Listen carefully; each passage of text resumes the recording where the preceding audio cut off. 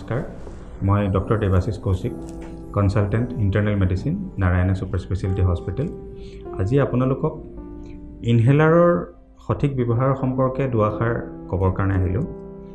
আপোনালোকৰ যিসকল ৰোগী এজমা বা চি অ' পি ডি এই ধৰণৰ ৰোগত ভুগি আছে তেওঁলোকৰ বহুতে হয়তো এই ধৰণৰ ইনহেলাৰ ব্যৱহাৰ কৰি আছে। এই ইনহেলাৰসমূহ যদি আপোনালোকে সঠিকভাৱে ব্যৱহাৰ নকৰে তেনেহ'লে আপোনালোকে এই ঔষধসমূহৰ পৰা যি ধৰণে আপোনালোকে লাভ পাব লাগিছিলে সেই ধৰণে নাপায়।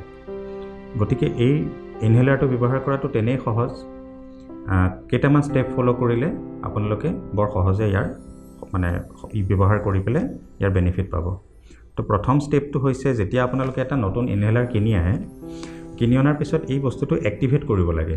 এক্টিভেট কৰিবৰ কাৰণে আপোনালোকে ইনহেলাৰটো ভালদৰে লৰাই দুটা পাফ বতাহত এৰি দিয়ক। ইয়াৰ পিছৰ পৰা আপোনালোকে যেতিয়া এইটো নিয়মীয়াকৈ ব্যৱহাৰ কৰি থাকিব তেতিয়া আৰু প্ৰত্যেক দিনে এইদৰে কৰিব নালাগে। অঁ আপুনি যদি এবাৰ ব্যৱহাৰ কৰাৰ পিছত মাজতে বহুত দিন ধৰি দুই সপ্তাহ তিনি সপ্তাহ একমাহ ইমান সময় যদি আপোনালোকে ব্যৱহাৰ নকৰাকৈ আছে তেতিয়াহ'লে আকৌ একবাৰ এক্টিভেট কৰিব লাগে। আপোনালোকে যেতিয়া এইটো ব্যৱহাৰ কৰিব আৰম্ভ কৰিব ব্যৱহাৰ কৰাৰ প্ৰথম ষ্টেপটো হৈছে ইনহেলাৰটো ভালদৰে লৰাব লাগে। লৰোৱাৰ পিছত আপোনালোকে এটা উশাহ দীঘলকৈ লৈ দীঘলকৈ এৰি দিব লাগে। এই যে আপোনালোকে উশাহটো এৰিলে এই উশাহটো এৰাৰ শেষতে এই ইনহেলাৰৰ যিটো মুখত নিয়া অংশ এই অংশটো আপোনালোকে মুখলৈ লৈ গৈ ভালদৰে তাৰ ওপৰত উদ্যোগখন বন্ধ কৰি আৰু এই অংশটো দাঁতেৰে কামুৰি এটা ভালদৰে যাতে চিল হয় ইয়াৰ পৰা গেছটো যাতে আপোনাৰ মুখৰ পৰা লিক হ'ব নোৱাৰে তেনেকৈ এটা ভাল চিল ফৰ্ম কৰিব লাগে এইদৰে। এইদৰে আপুনি মুখত লোৱাৰ পিছতে যেতিয়া আপুনি উশাহটো এৰি দিলে এই বস্তুটো আপুনি মুখত লৈ ল'লে তাৰপিছতে আপুনি এই বস্তুটো ওপৰৰ পৰা একবাৰ প্ৰেছ কৰি দিব লাগে মুখত থকা অৱস্থাত।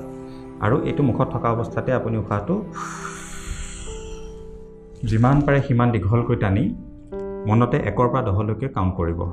যিমান পাৰে দহ ছেকেণ্ড ধৰি ৰাখিব পাৰিলে ইনহেলাৰটোৱে আটাইতকৈ বেছি ভালকৈ কাম কৰে। তাৰপিছত আপুনি লাহেকৈ উশাহটো লাহেকৈ এৰি দিব। তাৰপিছত সাধাৰণতে আমি এক মিনিট গেপ দি পেলাই আকৌ এবাৰ ল'বলৈ কওঁ। তো এই ধৰণে যদি আপুনি ইনহেলাৰটো ব্যৱহাৰ কৰে তেতিয়াহ'লে আপুনি ইনহেলাৰৰ আটাইতকৈ বেছি বেনিফিট পাব। তাৰ লগতে এটা কথা মন কৰিব যিবিলাক ইনহেলাৰত ইনহেল কৰ্টিকষ্টেৰইড থাকে। বিশেষকৈ সেই ইনহেলাৰসমূহ ব্যৱহাৰ কৰোঁতে ইনহেলাৰ লোৱাৰ পিছতে আপুনি যাতে মুখখন কুলকুলি কৰি পেলাই এইটো খুব জৰুৰী নহ'লে মুখৰ ভিতৰত ঘাঁ হোৱাৰ এটা সম্ভাৱনা থাকে। তো এই ধৰণে অতি সহজে ইনহেলাৰ ব্যৱহাৰ কৰি আপুনি এজমা বা চি অ' পি ডিৰ পৰা লক্ষণসমূহ খুব ধুনীয়াকৈ কণ্ট্ৰল কৰিব পাৰিব। ধন্যবাদ।